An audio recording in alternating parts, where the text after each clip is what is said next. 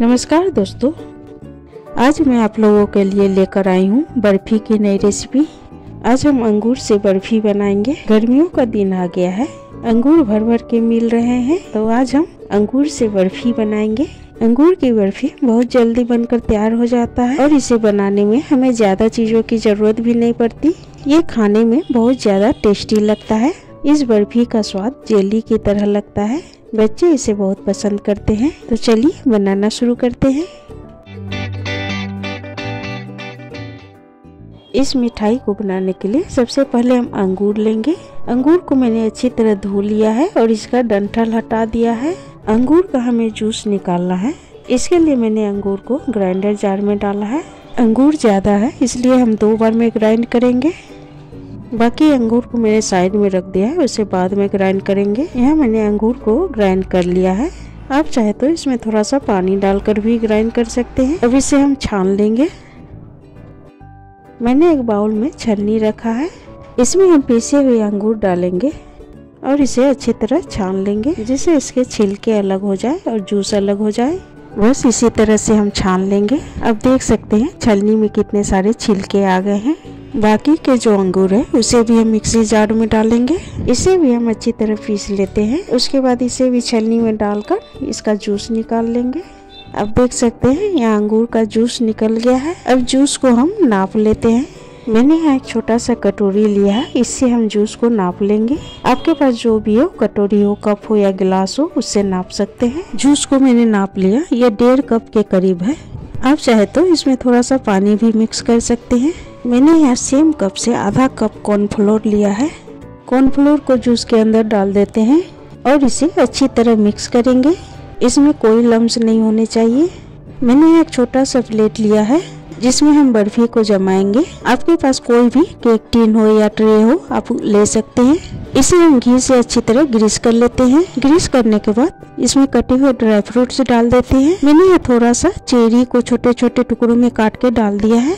मैंने यहाँ गैस पर एक पैन रखा है। पैन में हम एक कप चीनी डालेंगे। ये वही कप है जिससे मैंने अंगूर के जूस को नापा था। इसी से हम हाफ़ कप पानी डालेंगे।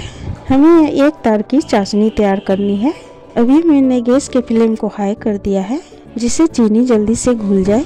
अब हम लगातार चलाते हुए चीनी को मेल्ट करेंगे। यहाँ चीनी पानी घुल गया है। फ्लेम को मैंने लो कर दिया है। अब थोड़ी देर और पका लेते हैं। थोड़ी देर पकाने के बाद चाशनी को चेक कर लेते हैं। चाशनी में एक तार आ रहा है। चाशनी हमारा तैयार है। अब हमने जो अंगूर का जूस तैयार करके रखा था, उसे इसमें डालना है। डालने से पहले हम इसे एक बार अच्छी तरह चला लेंगे, क्योंकि कॉर्नफ्लोर जो होता है ना, वो नीचे जाके बैठ जाता है। इसे हम धीरे धीरे डालते जाएँगे और एक हाथ से चलाते रहेंगे, वरना इसमें गुठलिया पड़ जाएगी। अब इसे हम लगातार चलाते रहेंगे। ये बहुत जल्दी गाढ़ा होने लगता है। इस टाइम में हमें फ्लेम को बिल्कुल लो रखना है। अब थोड़ी देर में ही देखेंगे, ये गाढ़ा होना शुरू हो गया है। इसे हम लगातार चलाते रहेंगे। मिठाई का कलर सुंदर दिखने के लिए इसमें हम ग्रीन फ़ूड कलर ऐड करेंगे। मेरे पास लिक्विड फ़ूड कलर था। आपके पास पाउडर फ़ूड कलर या जेल फ़ूड कलर हो, आप वो भी डाल सकते हैं। इससे मिठाई का कलर बहुत सुंदर बन जाता है। इसे लगातार चलाते हुए अब हम देखेंगे, ये अच्छा गाढ़ा हो गया है। इसी स्टेज पर हम एक चम्मच देसी घी डालेंगे। इसमें हम जैसे ही घी डालेंगे, ये पेन को छोड़ना शुरू कर देगा। अब देख रहे हैं, ये पेन को छोड़ रहा है। अभी इसमें हम एक चम्मच और घी ऐड करते हैं। इसे अच्छी तरह मिक्स करेंगे। अब आप देख सकते हैं, ये अच्छी तरह कुक हो गया है, ट्रांसपेरेंट हो गया है। इसमें अच्छी शाइनिंग भी आ रही है। इसे हम दो चार सेकेंड चलाते हैं और पका लेंगे। अब ये पूरी तरह पेन को छोड़ रहा है। अब ये जमने के लिए तैयार है। यहाँ हम गैस बंद कर देते हैं। अब इसे हम उस प्लेट में डालेंगे, जिसमें हम इसे सेट करेंगे, जिसे मैंने पहले से तैयार करके रखा हुआ था। अब इस मिश्रण को फैलाते हुए प्लेट में अच्छी तरह से सेट कर लेंगे। अब इसे सेट होने के लिए एक घंटा के लिए हम छोड़ देते हैं। एक घंटा बाद हम देखेंगे ये अच्छी तरह सेट हो गया है। अब एक चाकू से इसे साइड को अलग कर लेते हैं। उसके बाद इसके ऊपर एक प्लेट रख के इसे पलट देंगे। ये बहुत आसानी से निकल जाएगा।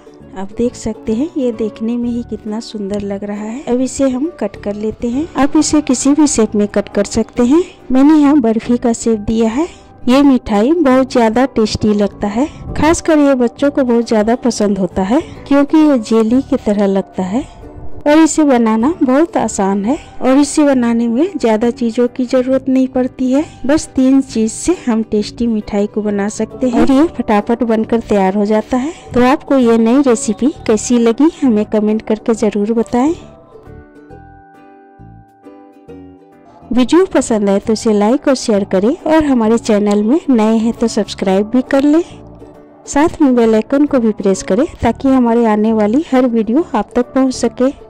तो मिलते हैं इसी तरह की एक नई रेसिपी के साथ। Thank you